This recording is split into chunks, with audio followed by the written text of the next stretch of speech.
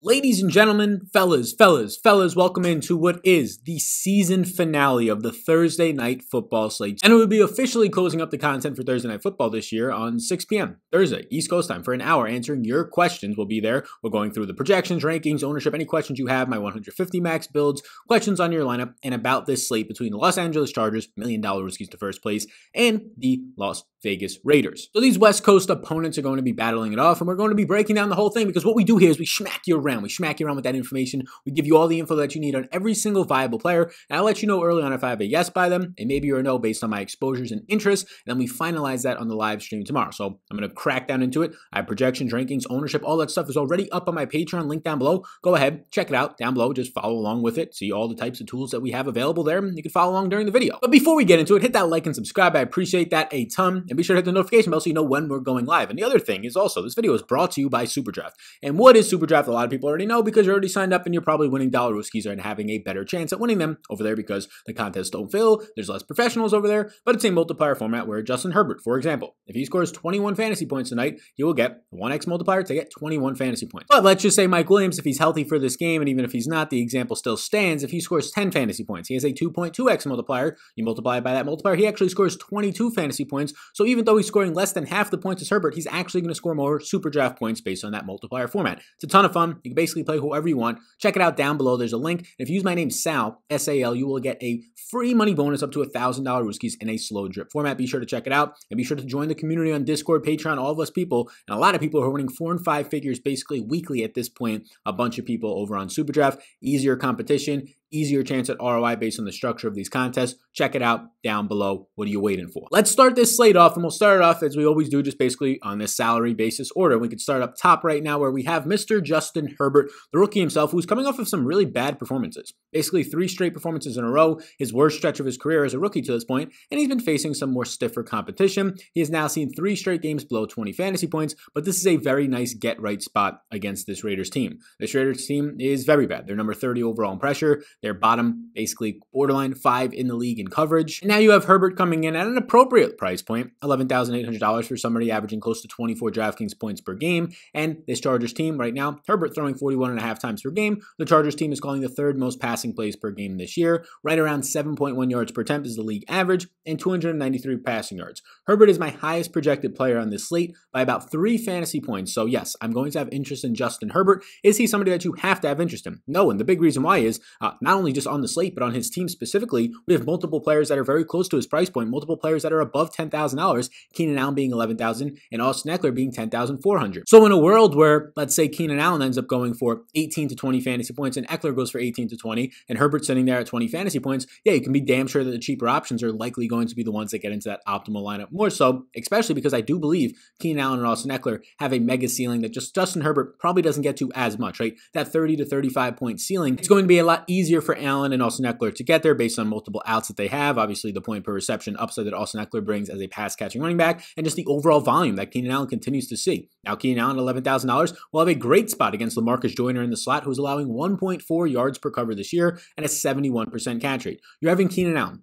10 plus targets, 10 plus, even with last week and in the past couple of weeks, Austin Ekeler coming back and soaking up 30 plus targets, 34 targets, I believe to be exact. You still have 10 plus targets in seven out of the last eight games for Keenan Allen, who is now leading the NFL in overall targets, probably because Davante Adams was hurt earlier this year, with 11.1 per game on a 28% target share. Keenan Allen at this price point, he's actually not my second highest projected or even my third highest projected player, but he's very close to those guys who are second and third. I do have a lot of interest in Keenan Allen. He is a yes. But if you are only playing one to three lineups, and I know a lot of people watching this are not playing that many lineups, Keenan Allen is somebody that in this upper range I could get away from just because of Herbert and also because of this next man that we're going to be discussing, and that is one Austin Ekeler. Now, Austin Ekeler has continued to see this elite passing game usage as we suspect from him, but this is all all the way up top as like a number one pass catching running back. This is Christian McCaffrey level since he's been back. In week 14, he had 15 rushing attempts, 79 yards. And then he basically comes in the passing game to see just as much, but to get the point per reception, nine catches, 67 yards. A very Christian McCaffrey esque role there, except without the touchdowns. He saw nine targets. He's now seen 34 targets in three weeks since returning, and he gets to go up. And oh boy, this is the best matchup you might be able to have as a running back, especially if you're a dual threat who breaks tackles.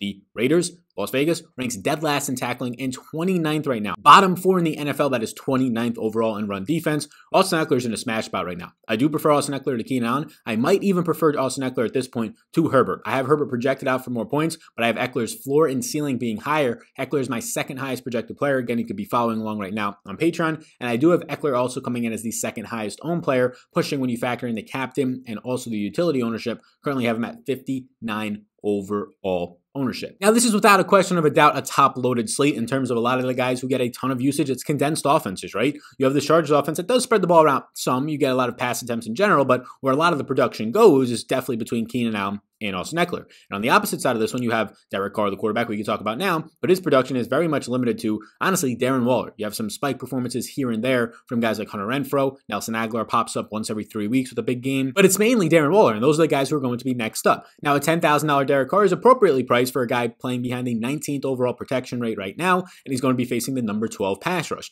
He's averaging 33 attempts per game at 7.7 yards per attempt. Derek Carr has very quietly been great this year. Maybe it's going to slowly start to come out. And now, just based on game scripts against the Jets playing from behind, winning in the last second, right? This past week, getting down big against the Colts this last week, he's thrown 45 attempts or more in 300 plus yards in back to back games. Obviously, that's game script. They come into this one as four and a half point favorites, but you do have that upside, projecting for four touchdowns, that there can be a two to three touchdown performance here for Derek Carr. Again, I prefer Austin Ekeler at $10,400, but Derek Carr right now is going to be somebody that I also have interest in. Now, if you're just tuning in for the first time, normally, like when we're up here, I might have a, a one yes by some of these guys. So you can see that this is a very top loaded slate, which is going to hint that towards the bottom of the slate, we're going to have to find some sort of value in the mid range or the bottom, fade some of these guys up top. Right now, I don't really want to be saying that I want to fade Keenan Allen because I don't. But if you're playing one lineup, I would prefer getting to Ekeler and one of the quarterbacks, which then makes it difficult to get to Keenan Allen. Now, if you play a cheaper captain or a mid price captain with a couple of cheap options, you can do that. And it's also worth pointing out at the top of this right now. Hopefully, I'm recording this right now on Wednesday afternoon slash evening. It's going to be coming up Thursday morning. Maybe you're seeing this Thursday afternoon or night. But Henry Ruggs is on the COVID list, so he is not out. There's not has not been any other news on other people potentially being close contacts. So if there is some other news that maybe I don't know Hunter Renfrow or one of these other guys in the receiving group or somebody else that's going to be starting is going to be out, don't worry. We'll talk about it on the Thursday night live stream. I'll also update it on everything on Patreon. So depending on when you're watching this,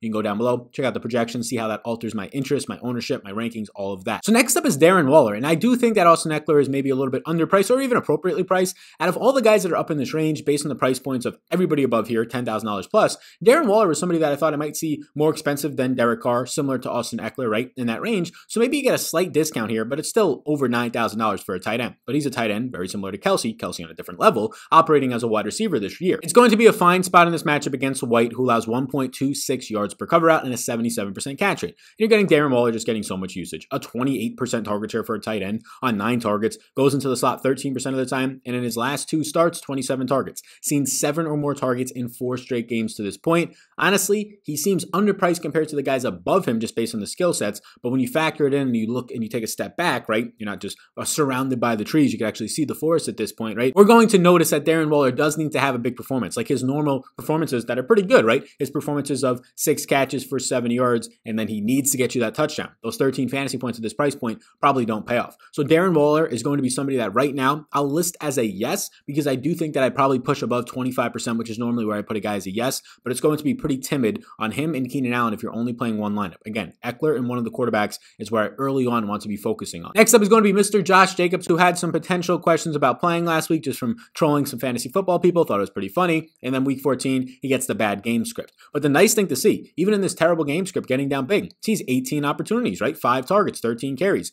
ends up piling up total in that game about 74 total yards, 14 routes from, got those five targets on 18 opportunities. Nice to see that in a negative game flow. Vegas is projecting this one to be a neutral to positive game script for him. So you suspect maybe you can see 16 to 18 touches on the ground. He's number six in red zone role, number three in evaded tackles, and number seven in yards created. When he has been healthy, even coming off of a poor performance because of the game script, he has been a very good running back. I don't have overwhelming interest in him, but he's going to be somebody that I like getting to just because the ceiling on these types of guys, Devontae Booker still being involved, Jalen Richard not involved as much, nowhere near, but we saw last week Jalen Richard getting more involved because of the negative game script. There's still some ways that at $8,800, he can pay us off. Double touchdowns, a Nick Chubb type performance that we just saw a couple days back on that crazy Monday Night Football game. I'm not shocked if he's the captain or in a winning lineup, but I do prefer Waller. I do prefer Ekeler and some guys, even if they are more expensive. Next up is Nelson Agholor, and even with, like, here's the thing Henry Ruggs being out, he has not been that great of a producer this year. You probably get the rookie Bryan Edwards, maybe some Zay Jones, the former Buffalo Bill, filling in for those routes. Maybe they're going to split up basically 30 routes or so between the two of them. Them. Now, a lot of people are going to jump and say, it's Nelson Agholor season. No, Nelson Agholor gets the same role.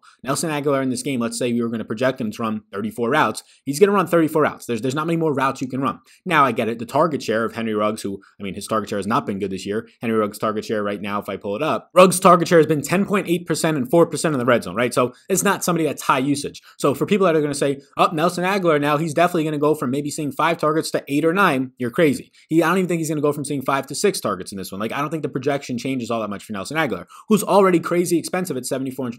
Now, he'll have a neutral matchup against Michael Davis, who's been good as a cornerback, right? He allows 1.06 yards per cover. And Nelson Agholor this year, he doesn't get all that much volume. 14% share and four and a half targets per game, 25% slot usage. Lately, he has been getting a little bit of a tick up here 20 targets the last two games, six or more targets in four straight games. And the pretty crazy thing about Nelson, Nelson Agholor is last week, nobody wanted to play him. And I mean, I don't really want to play this guy ever, anyways, right? On a showdown slate, it becomes a little bit more appealing because there's less options. But in week 13, he had 215 air yards. That was one of the highest numbers we've seen all season long. And then the week after that, nobody wants to play him. 11 targets, 215 air yards because he only catches four passes. And then he comes out with a 21 point performance, 24 points because he got the 100 yard bonus if you're talking about DraftKings, five catches, nine targets, 100 yards. He sees another big air yard day with 131. Nelson Agholor has now seen 130 plus air yards in three out of his last four games. So this is very good to see. Now, obviously, they were pushing against the Jets playing from behind and in week 14 against Indy and against KC in week 11. So if they're playing from behind, Nelson Agholor will get these deep shots downfield. He'll probably see three or four deep targets downfield. So there is some upside there. But as of right now, again, if you're playing 150 lineups, maybe I get some shares of Nelson Agholor. My projection on him at $7,400 is not enough for me to really want to get there in an overwhelming way, especially if you're only playing one to a couple of lineups. Next up is Mr. Mike Williams, who had to leave that last game right away, basically, right? So we're going to have to track what Mike Williams is doing. If Mike Williams is in, I have interest. He's going to face Lawson, who's been healthy and good, allowing just 0.86 yards per cover so far this season, but he does have 28 pounds on Lawson, so Mike Williams will have an advantage. The obvious downfield upside at $6,200,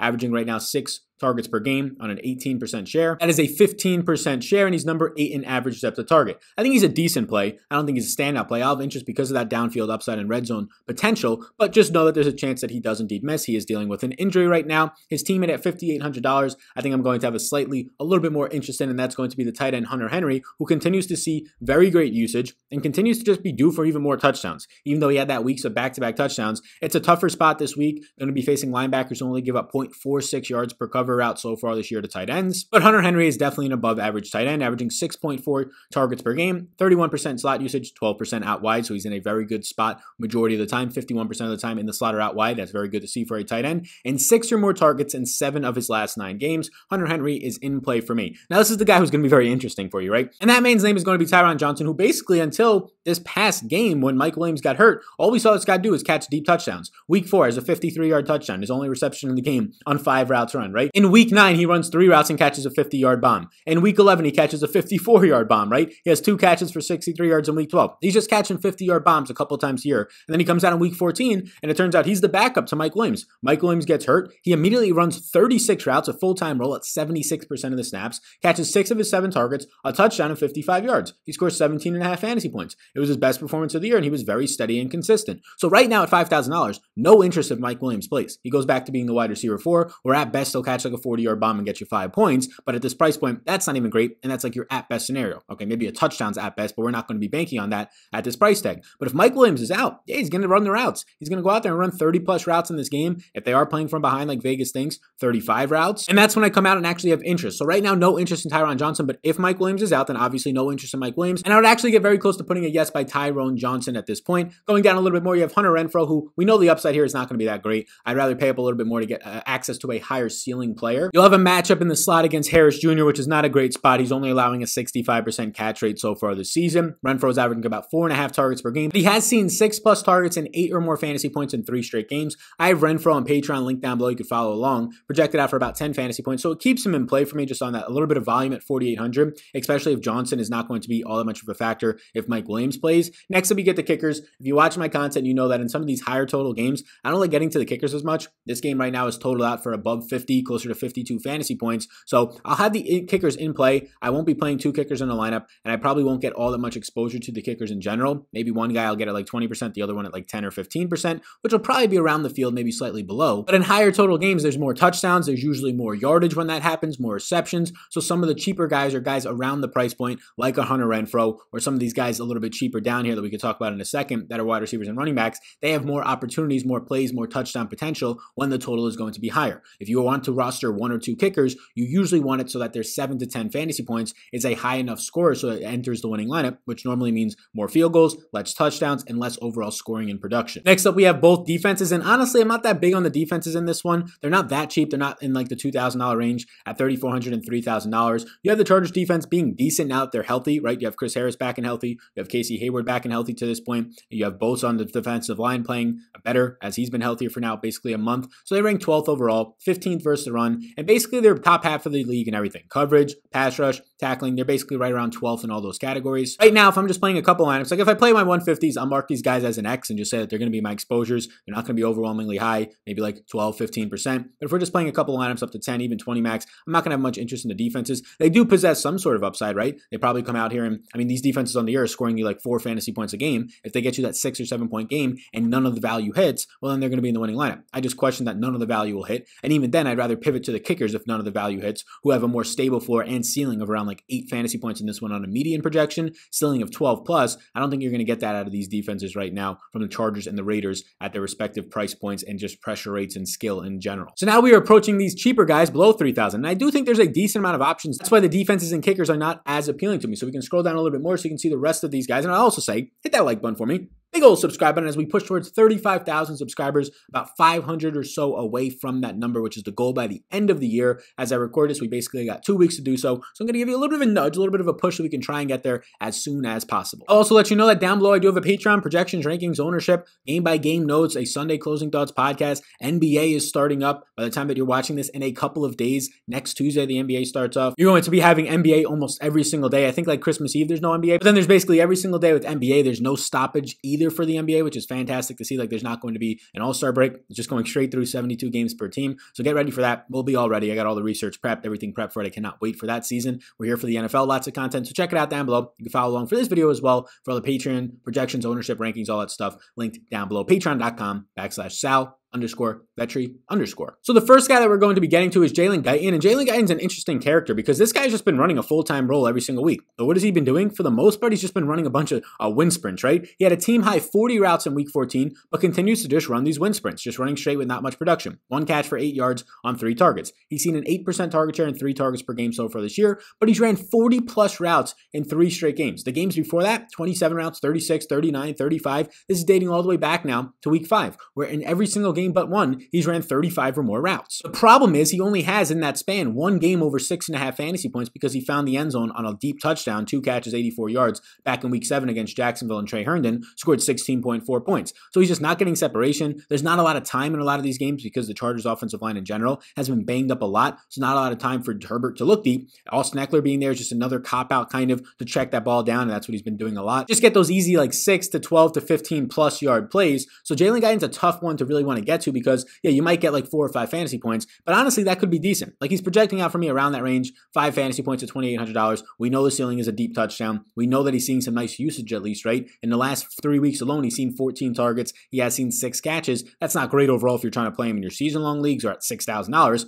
but he's $2,800. So Jalen Guyton, he's not a yes, but he'll be in play for me. The next two guys we can tackle at the same time at this point, that's going to be Kalen Ballage and Justin Jackson. The backups at this point to Austin Ekeler. Week 14, you saw with Jackson back, Kalen Saw seven carries and a overall target on two receptions, ran 11 routes, so he saw some nice usage. His overall production in that game, though, was just eight touches for 20 yards. Not great. Expect only like six to eight touches a game with Justin Jackson back. And Justin Jackson came back off the IR. He saw himself six touches on six opportunities. He caught three overall receptions on seven routes. That is a very high target rate, right? Three receptions, three targets on seven routes. That's not going to withstand. That's kind of above expectation, I would say. So I would expect both Justin Jackson and Kalen Ballage. If you want to play one, I'd play Kalen Ballage, but I would expect them both to basically see like four to five touches each. And if they're not scoring a touchdown, they're going to be kind of useless for you. So prefer Guyton to both of them at this point. But Devontae Booker is somebody who's interesting. $1,800 here, and I actually think he's decent. Last week, Josh Jacobs returns. He still sees seven opportunities and seven touches, catches three passes on 13 routes, so a little bit more sustainable than what Justin Jackson did on just seven routes. He had double the routes and he saw that usage, so that's good to see. Now they're playing from behind, so I don't know how much you can actually rely on those targets, but he has been getting targets and receptions in basically every game this year.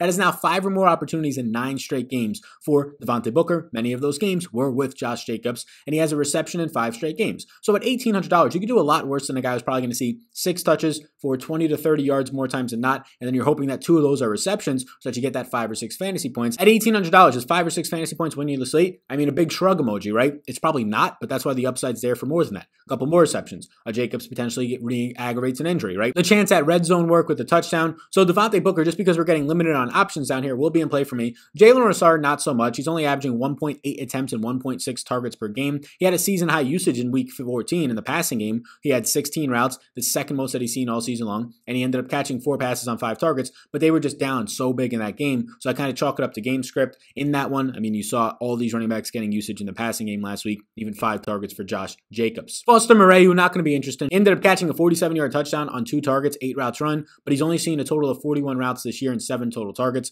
Again, his first usage in basically a month and a half. No interest. If anything, he's overpriced at a $1,000.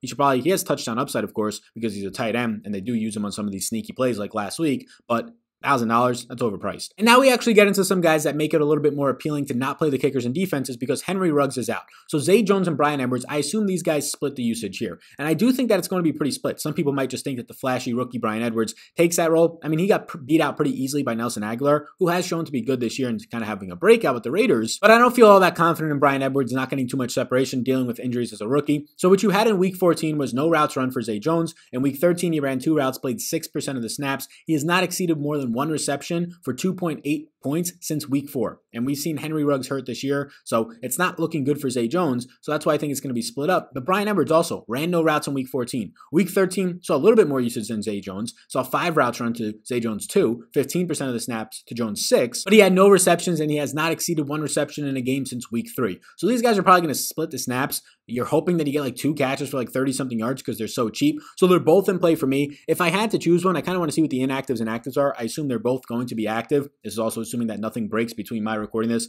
and tomorrow morning that these guys are even out or other wide receivers are out. If other wide receivers are out, like an Nelson Agholor, yeah, these guys become a lot more appealing. If one of these guys are out, if it's going to be Bryan Edwards is out because he was a close contact, then go to Zay Jones or vice versa. If I had to pick one, I just know that Bryan Edwards is more of a talent. If he's been dealing with injuries, if he's a rookie, so it's setting him back a little bit, I know he's more of a talent. He's also half the price. I would choose Bryan Edwards here. He was also being used more than Zay Jones in the limited sample for the last couple of weeks before this Henry Ruggs injury. And Zay Jones, we've seen it in Buffalo. We've seen it here. This guy is slow. He can't get separation. He has not been that great. He's kind of a red zone target, which is nice and it can get you some upside. But I think Bryan Edwards is just a more athletic player. I'd be hanging my hat on Bryan Edwards if choosing one of them. And then we'll close it out with guys. Look, who? yeah, like many content creators probably not going to touch on them. Look, I'm, I'm not cocky. I'm confident here. I'm trying to give you as much information as you can. This is the best YouTube channel for free content. And even the people putting this type of information behind a paywall, you're getting it right here for free for you. Smacking with the information making you more educated to beat those people who they got their subscribers behind a paywall. Just for a basic breakdown of the slate. Now, if you want tools, projections, rankings, all that stuff, actual tools to help you get even better, yeah, put that behind a paywall. But the breakdown of content behind a paywall for your podcast or whatever else, come on now, give your head a shake. I'm doing it better than any of these people in the game right here on this channel. Again, confidence, not cockiness, because we're trying to fill your head with the best information out there. Even these guys down here in the slate, like Jason Witten, who only has ran five total routes in the last three games and no receptions, just two receptions since week nine. Yeah, it's $200. You're hoping for a fall into a touchdown here for Jason Witten in prime time, play action pass on the goal line, something like that. But we're not going to bank on that. It's a no for Jason Witten for me, dog. And then some other tight ends, Donald Parham, the XFL star, my Dallas Renegades. I cannot wait for the XFL to return in 2022. No usage in week 14 after running a season high in routes overall and snaps in week 13's blowout loss. Only five catches total this year. He's a touchdown or bust. He also dropped a touchdown. Would have been another win for this team. Not going to get there either. And then this next name is actually going to be interesting. You might not think it. $200 KJ Hill, the rookie out of Ohio State, late round pick for them. Look, he's only going to see the field if Mike Williams is out. Last week, he ended up running 10 routes. He caught his only target for four yards, and that was his most usage basically since week 5 when Keenan Allen got hurt against the Saints, I believe, on a Thursday night football game. So either way, I don't really have much interest in KJ Hill, but it's at least important to talk about him because if Mike Williams misses, it's going to be the Tyron Johnson show. But then KJ Hill slots in as the wide receiver four and probably runs 8 to 12 routes. Now, those 8 to 12 routes might not mean anything, but it could mean two catches for 30 yards,